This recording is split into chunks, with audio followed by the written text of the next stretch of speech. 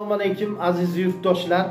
Mana bugun do'stim akam o'zbekistonda taniqli shoirlarimizdan biri bo'lgan amir xudoyberdiyni eng yaxshi ko'rgan she'rlaridan birini sizlarga aytib berishga harakat qilaman.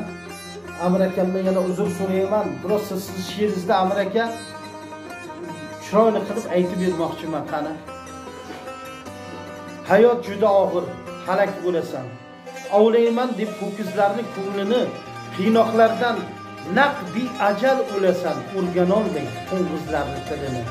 Mulozamat kerak eshakka maqtash kerak maymunlarni turqini ko'tarilay desang yuksak yuksakka o'zlashtirgin tulkilarni xulqini. She'r haqida yomon gaplar desa kim borib chaqqin panohim deb sig'inib eplolmasang hech bo'lmasa yashagin toshbaqadek tosh bosanga biqinib kuchuk bo'lib kirgin itning pinjiga ding yolg'ondan bo'lsa-da siz otamday odammanku deb ming o'yla ichingda baribir hech yasholmaysan odamdek rahmat.